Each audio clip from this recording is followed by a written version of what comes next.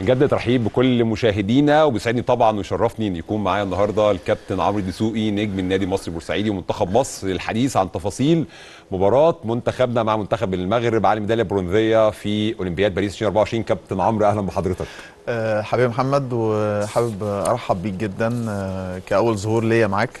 وإن شاء الله دايما طلتك يعني أنا بشوفها بره. طلتك حلوة على الشاشة. ربنا يخليك وإن شاء الله ربنا يوفقك في القادم. يعني ببارك لك طبعا على يعني البرنامج الله يبارك في. حضرتك. الله يبارك في حضرتك. ربنا يخليك. خلينا كده نبدأ كده سريعا عن المنتخب الأولمبي.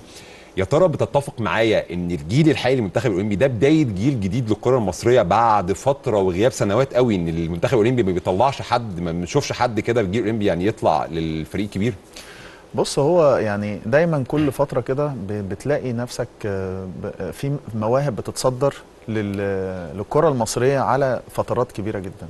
ده مش راجع ليها خلي بالك التخطيط ولكن راجع ليها الموهبة موهبة اللاعب الحقيقيه وده اللي بيحصل فعلا في المنتخبات والطبيعي إن إحنا يعني إحنا كتربية منتخبات من زمان كنا دايما كان في أسس دايما لمنتخبات الناشئين والمنتخب ال- الأول والمنتخب ال- الأولمبي. ان دايما أجيال بتسلم أجيال.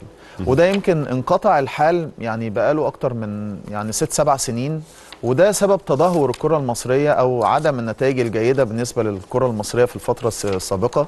وعايز أقول إن هو التخطيط مهم جدا بالنسبة لل- للأمر ده لأن النهارده أنت لما بيبقى في مرحلة تخطيط بالنسبة للمنتخبات الناشئين والمنتخب الشباب والمنتخب الأولمبي أكيد بتطلع الذريعة بتاعتك اللي هو شفنا يعني بطولات كبيرة جدا زي جيل أبو تريكة والجيل اللي أنا كنت فيه والجيل اللي قبليه يمكن كابتن حازم إمام وكابتن حسام حسن. كان دايما هم الأجيال بتتوارث أجيال.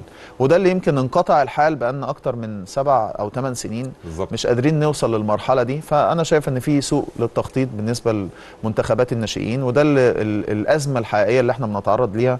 ولما يطلع بقى منتخب زي دوت عنده مواهب آه، يا ريت نحافظ عليه ونحاول نكمل على الشكل الجيد اللي إحنا بنشوفه.